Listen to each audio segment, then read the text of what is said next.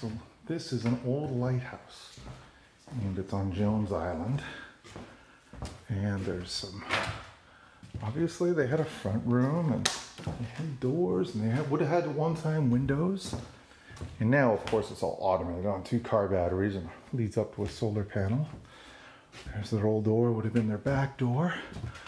There's the old boiler. Probably kept them warm. That's something else. And uh, tell you what, why don't we uh, take a walk upstairs here? So um, let's keep going. So here's their, would have been their first banister. And this would, of course, gone up to their, their chimney stack. Over here, probably somebody's bedroom. And uh, would have been a window at one time, probably. And uh, yeah, there's some other people that have been here, left their marks here. And over here, there's another bedroom. You can see even the ceilings and the walls were finished. And then we go up another set of stairs here. And uh, probably a great little area. Looks like they, somebody built a bookshelf up here, which is would have been nice back in the day. It would have been a nice window there, I assume. And then we would have come upstairs here. Oh, getting a little steep here. And then, yeah, it's getting a little narrower. Another little set of stairs. Gotta watch your head on this one.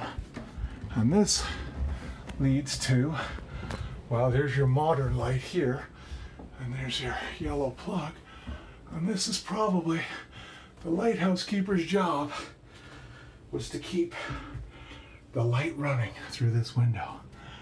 And uh, this was directed sailors back in. The nice thing about this little lighthouse is if I flip this little latch here and I open it up, we get a beautiful,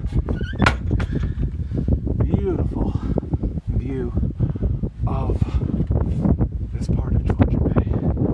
And uh, here's the solar panel that's running the place now. And uh, as you can see, it's a little rickety up here. 200 pound frame. There's people using it for some recreation. We can walk around here and we can take a view of this beautiful area.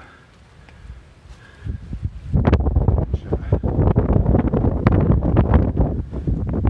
there's a little door I came through very much, folks.